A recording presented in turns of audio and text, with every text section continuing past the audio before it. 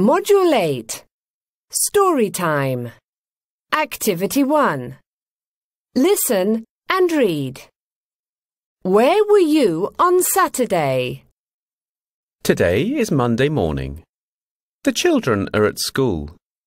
They are talking about the weekend. And Michelle, where were you on Saturday? I was at the circus, Miss Brown. How was it? It was funny. There were a lot of clowns. There were elephants and lions too. I was at a fast food restaurant yesterday evening with my family and a friend.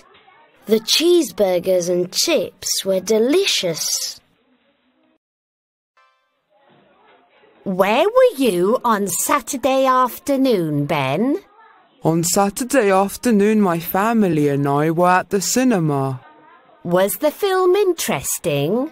No, it was boring, but the popcorn was great.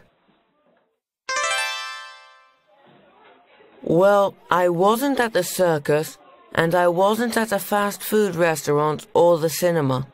I was at the playground, and later at the hospital. Be careful next time, Will. Yes, Miss Brown.